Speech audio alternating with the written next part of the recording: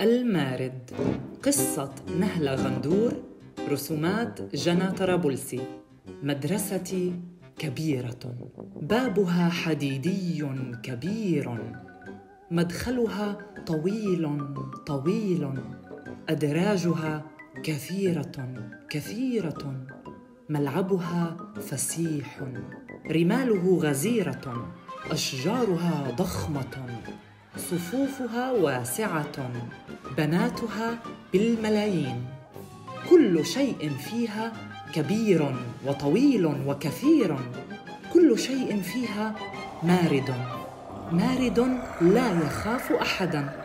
مارد قوي. مارد جبار.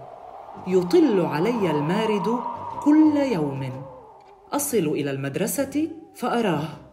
أراه في الباب الحديدي الكبير في المدخل الطويل وفي الأدراج الكثيرة. أراه في أشجاره الضخمة وصفوفه الواسعة والملايين من بناته. أخاف من هذا المارد الجبار ولكنني أريد الذهاب إلى المدرسة. ماذا سأفعل؟ سأذهب إلى المدرسة وأنتظر وأرى. مرت أيام وشهور. وأنا أدخل صبحا إلى مدرستي وأخرج عصرا منها والمارد لا يزال معي ولكنني أنظر الآن إليه وقد تغير شكله. أعرف طرقاته وأعبرها بسهولة.